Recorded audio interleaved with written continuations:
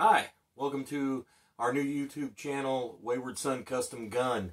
My name is John and I'll be your host. Um, I'll start off and I'll try to be brief when I do this, but uh, since it's a new channel and everything, uh, you may not know what we're planning on doing or uh, what you might be able to get out of it. So I'm going to uh, just take a few minutes to let you know uh, what you can expect and uh, hopefully what we can expect from you guys. So, like I said, my name is John. This is Wayward Son Custom Gun. As you can kind of tell by the uh, title of the the channel, uh, we deal a lot with custom guns. Uh, so during the uh, our little journey here, we'll be going uh, going through some of the custom guns that I've built. Um, we'll be doing some reviews of factory uh, stock factory guns. We'll be doing some reviews over knives and some other things. We're going to be drawing a lot on my experience and um, education and training. Um, so just to let you know what that might all entail, my background is I'm a former U.S. Marine Corps MP and close combat instructor. Used to teach line training, um, which was the Marine Corps' uh, hand-to-hand combat, so to speak, uh, and knife fighting training um, back when I was in. Um, also been a National Guard member. I was a uh, forward observer, calling in fire and all that kind of stuff. And I spent uh, all total almost 20 years counting my time as an MP in law enforcement. Uh, during that time frame, I was a deputy sheriff, um, uh, city police officer, uh, federal police officer. I was a SWAT team officer for several years. during that time frame, I also became a firearms instructor for more than one jurisdiction. Uh, been a firearms instructor for a couple decades now. Also uh, been a taser instructor, uh, an ASP tactical baton instructor, ASP tactical handcuffing instructor, um, law enforcement physical fitness instructor, um, and uh, I was a U.S. as a civilian. I was a U.S. Air Force uh, combat arms instructor, which is um, who they have to repair small arms, uh, anything from the M4 family, M16s, uh, the Beretta M9 at the time, uh, the SIG M11, the uh, Mark 19, um, any of the crew served uh, machine guns. Uh, so just a, a, little bit of everything, basically anything that's not large and moving, um, anything that uh, that our troops could carry in their hands. I repaired and then also did firearms instruction for them as well, primarily with our uh, armed forces members that were going overseas, uh, going to the sandbox. So that's been a few years ago, but uh, um, I'm also a uh, lifelong martial arts enthusiast. So um, all that combined, what we're going to try to do is be a one-stop shop for everything. Um, I do have a website, waywardsoncustomgun.com, where you can find a lot of other stuff that you can't find here on YouTube because of their rules regarding firearms and related subjects. So if I start talking about particular parts or anything, um, I can't link you to them from here. I can't really go into a lot of detail for a lot of things such as installation and stuff like that here, but go to our website and you'll be able to find some of those links and some of those uh, uh, resources that you can't find here. Um, different set of rules, so we make our own rules over there. We can't here. We have to we have to do what the man says. Um, so as far as like build lists or anything like that, I'll throw out parts and stuff that I use for different builds. Um, you'll be able to find those. Um, also, we'll post these videos on the website as well, and I even do some uh, custom hydro dipping AR furniture and different different things, and um, do a few little services. So the, the hope is is that sooner or later we'll be uh, scheduling classes and all that kind of stuff through the website and everything. Right now it is up and running. It's not 100% where we want it to be, but it is functional and you can check it out. And like I said, all these videos, the build lists and all that will be available over there. So if you want to try to find some of these parts, then you can do that. Uh, so anyway, uh, enough about myself and what we're planning on doing. Um, let's dive right into it. I'm going to start off this. Uh, this is our first video, so I'm going to go with the first gun, the first pistol that I ever built. Now this is built completely from scratch. I bought uh, strip frame, stripped, uh, strip slide, all the parts, everything. Built it from Bag O Gun. All right. So we're going to go over real, uh, real uh, short and sweet, but it's a, if you can see, it is a Glock style and as Glocks go, this would be a Glock 34.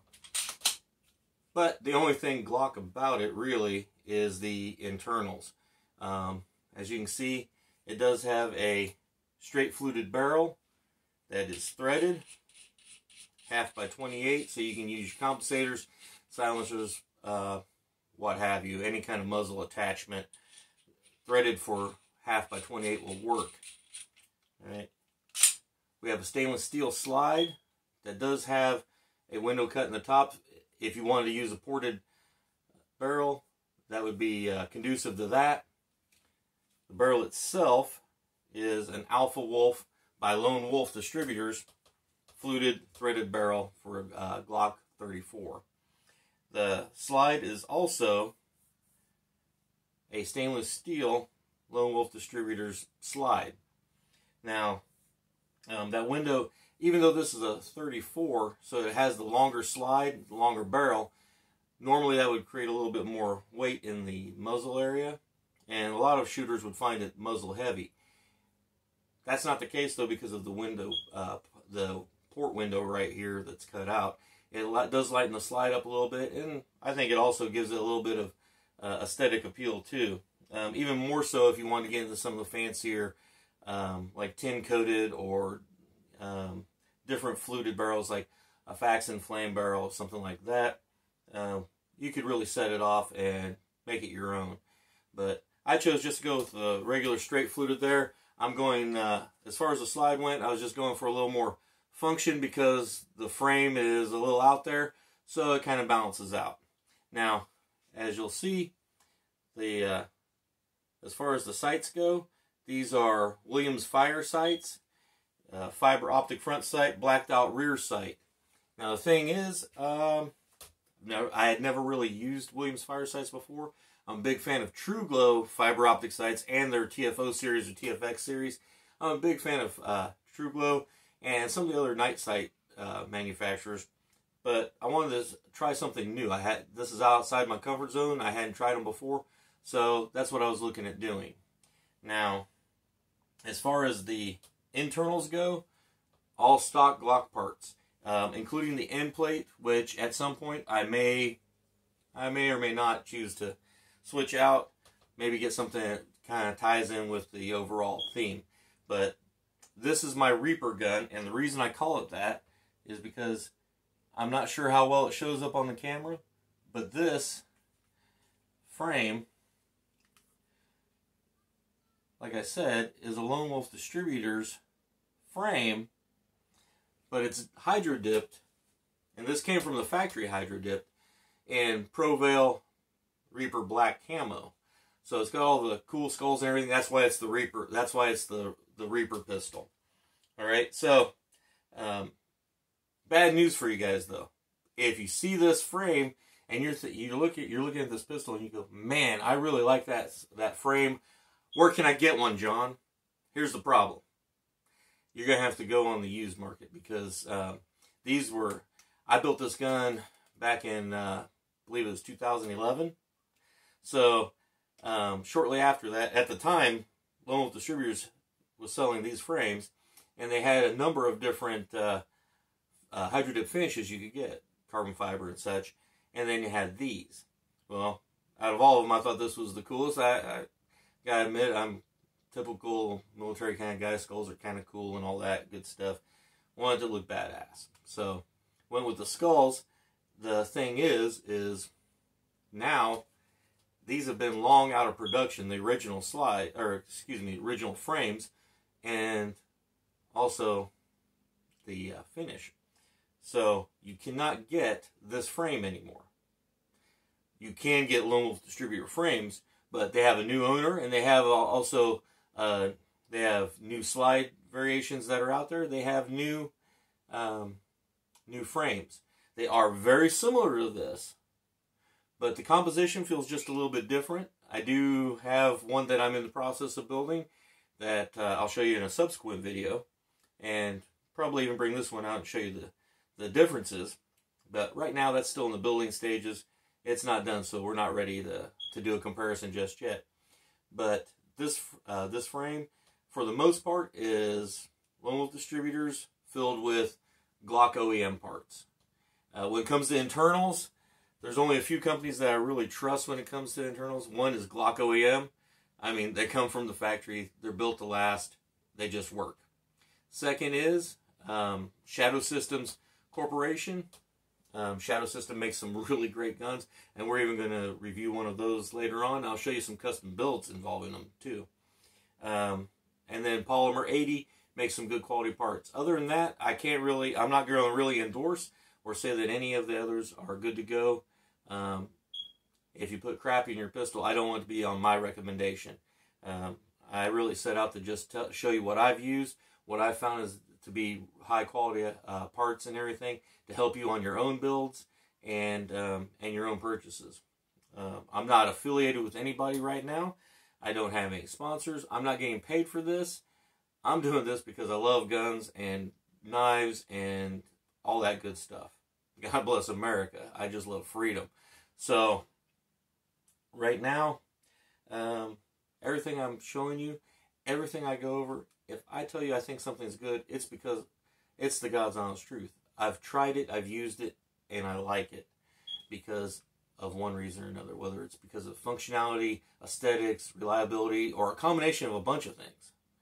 So, I can tell you this much: it comes with um, these came with two back straps, and yes, the back straps were hydro uh, dipped as well in the same pattern. Um, the internals are all Glock except for the magazine release. The magazine release was proprietary.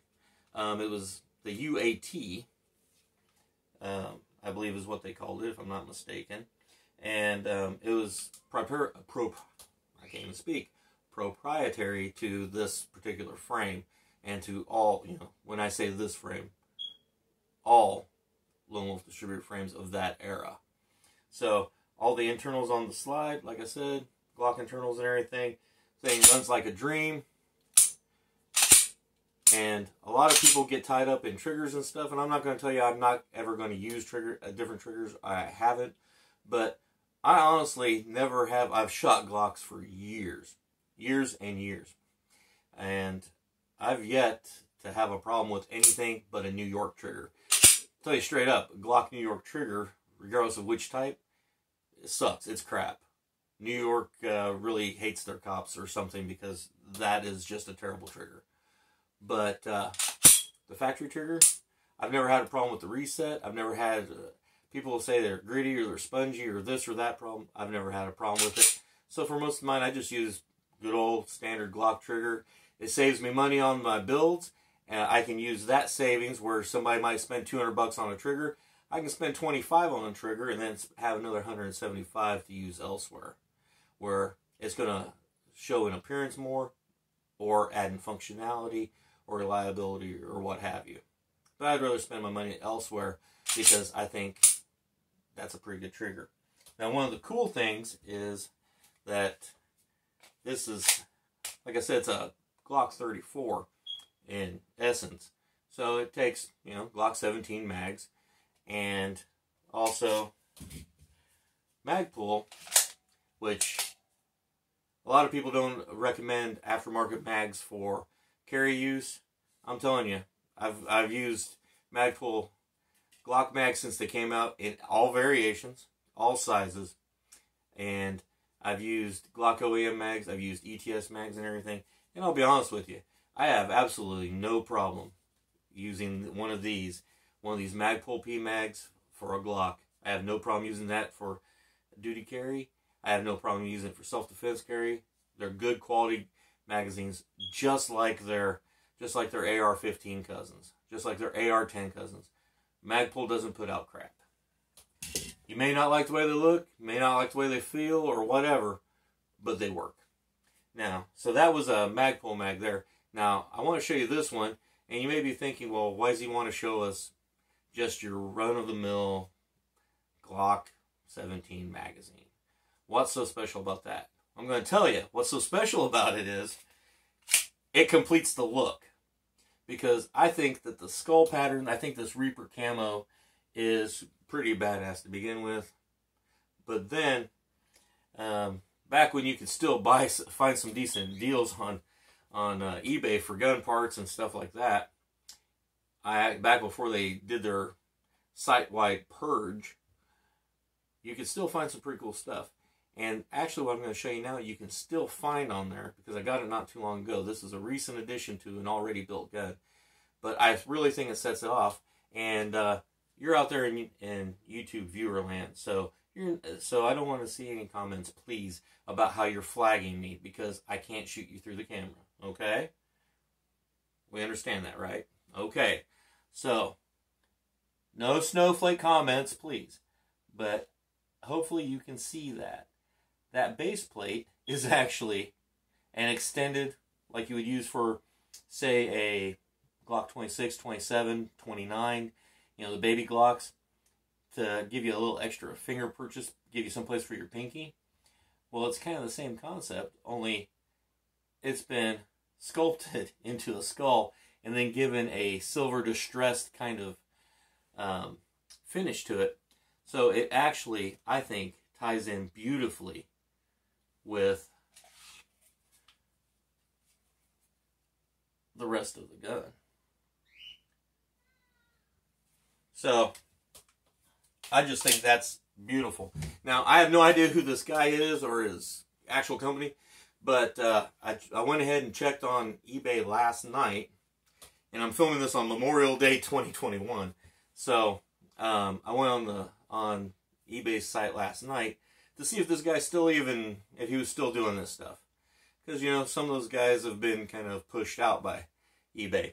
Well, here's the thing, he's still there, and he has a huge selection of things that, and most of them are skull related. I'm going to tell you that much. But he has different grips and base plates and stuff, not just for Glock, but also for some obscure guns like Star PDs and um, things of that nature. Heritage Rough Riders and, I mean, Sig P, uh, uh, P238s and stuff like that.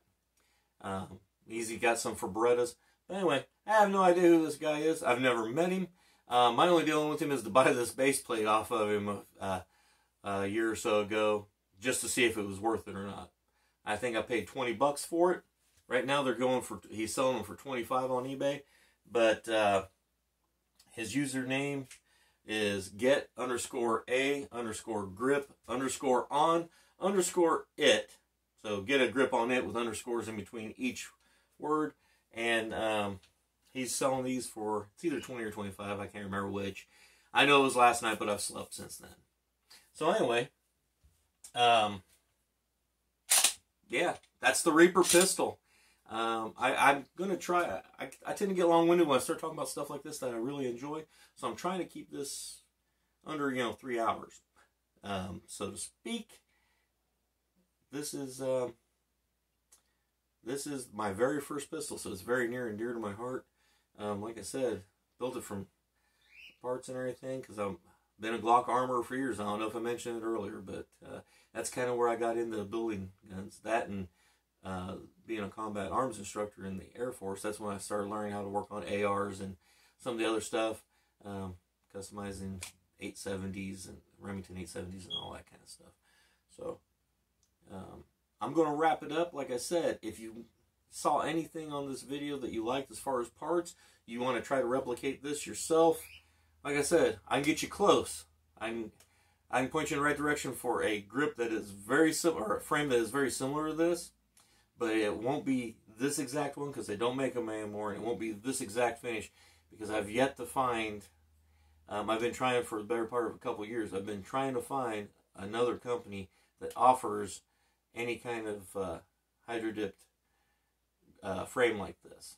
So far, I haven't. Now you can always send it off and have it done, but that's always going to be a little bit more expensive than if you buy it ready made because they can do that in, in bulk and you're doing a one off. So one offs always cost more than bulk. Anyway, Uh, hope you enjoyed the video. Um, I'm excited to get some more content out there. And what we're looking at doing is we're looking at uh, dropping new videos, new 2A related videos. Um, well, and maybe 2A plus.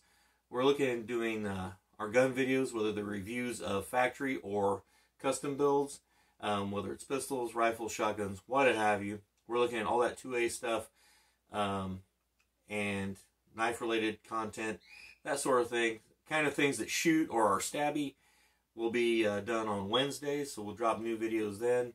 And then um, also once a week, um, we're either going to do, there's going to be a, a few subscription box unboxings subscription services, uh, services I should say, because sometimes they come in envelopes. But we're going to do some unboxing, um, unveiling of some subscription boxes and things of that nature on um, varying dates because whenever they come in, we'll do the video. And in addition to that, if there's a week when we don't have a subscription box come in, then we'll do a supplementary one. And that could be on just about any topic. It may be on self-defense. It may be on 2A related things um, without showing you a gun. Maybe just be uh, talking about things in the news. Could be a little bit of anything, but it's going to be a little bit of bonus content. Those will probably be a little bit shorter.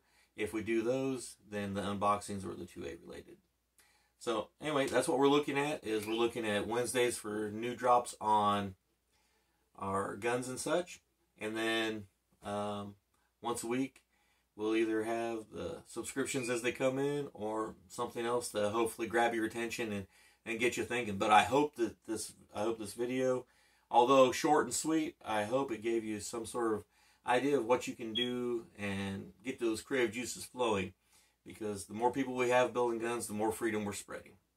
And uh, I'm telling you, it's one thing to buy a nice, new, fresh, shiny gun and take it to the range. It's a whole other experience to build it yourself, go to the range, and hear it go bang, and then keep going. That is a beautiful thing. And that's one of the reasons to love America, because we have the freedom to do that. So, until next time, like I said, I'm John. This is Wayward Son Custom Gun Channel. Please visit waywardsoncustomgun.com where you can find uh, build lists and all that other good stuff. And we're going to be adding content. We're, we're not 100% yet, but we're getting there. But please uh, visit waywardsoncustomgun.com. Um, please leave your any comments. If there's something you want to see in the future, you want to see us go over, please let me know. If there's any questions you have, let me know those too. Um, if you have snarky comments, that's fine too. Um, we're not all perfect, and I can take the criticism. I got a thick hide. Um, but if you do like it and you don't want to leave a snarky comment, then by all means, please leave a nice one. Uh, hit like, subscribe, hit the bell notification so you know when new new content comes out and all that. And until next time, until next time, all I can say is that uh, God bless America. God bless America. Um, that we uh, that we still have a little bit of freedom because I'm living in uh, one of the socialist uh, republics right now, hopefully to get out soon. But God bless America that we still have the freedoms that we have. So I want to encourage you all to exercise them. exercise it every day, whether it's through concealed carry or through training or through education, whatever it is. Just exercise your freedoms every day. Know the Constitution and live by it and expect others to live by it. And uh, hopefully we can turn our country around because it's still a great country. It's just uh, got a few speed bumps right now. So, um, until next time, watch your six and carry on. Wayward Son out.